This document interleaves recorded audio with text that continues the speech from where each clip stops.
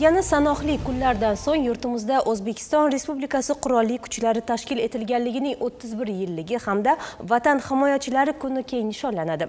Ushbu sana oldidan hududlarda turli uchrashuv va anjumanlar tashkil etilmoqda.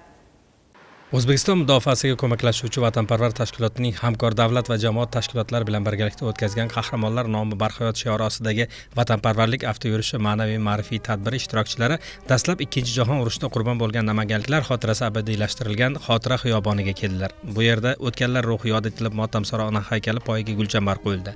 Shundan so'ng avtoyurish ishtirokchilari chortoq tumaniga yo'l oldilar.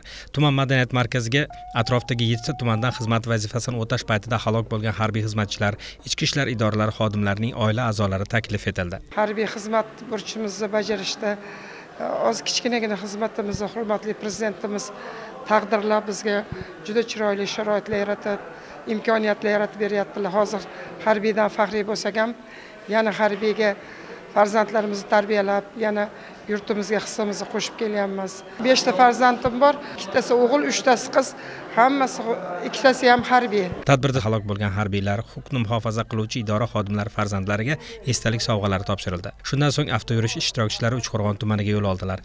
Tumanda joylashgan harbiy qism bo'linmalari askar va zobitlari faxriylar va yoshlar ishtirokidagi bayram tadbirida san'atkorlar vatanni tinchlikni hurlikni madh etuvchi qo'shiqlarni ijro etdilar. Baxtiyor mamajonov ibrohim hamdamov yoshlar